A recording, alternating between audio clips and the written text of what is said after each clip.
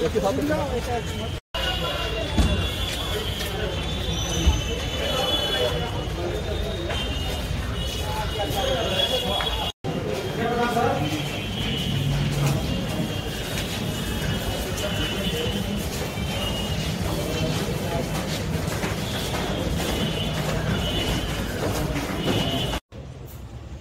Açan bol bir şey.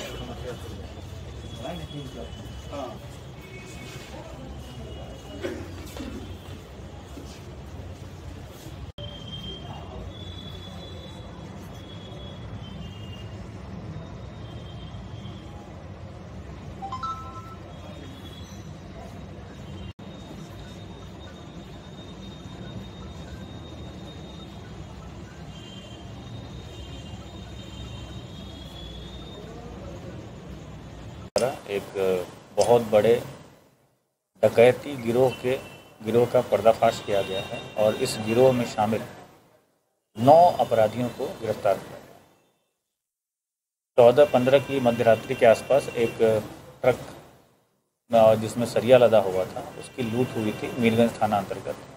और उस संदर्भ में कांड दर्ज करके उसका त्वरित अनुसंधान प्रारंभ किया गया।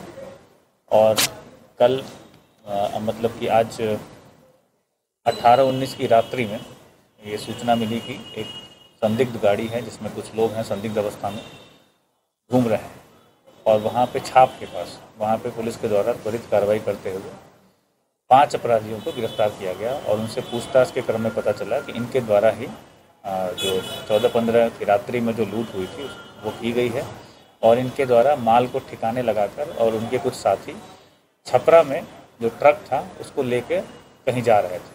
तुरंत छपरा पुलिस से संपर्क किया गया और छपरा पुलिस के सहयोग से वो ट्रक और दो और अपराधी की गिरफ्तारी की गई।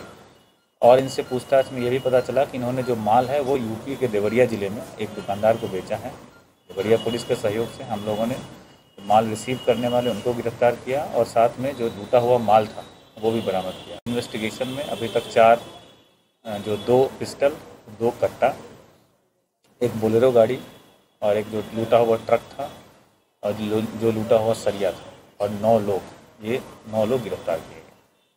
इस तरीके से पूरे कांड का पर्दाफाश किया गया और अपने कुख्यात अपराधियों की गिरफ्तारी सुनिश्चित की। ये लोग अलग अलग जगह के सिवान के रहने वाले हैं कुछ यूपी के रहने वाले हैं।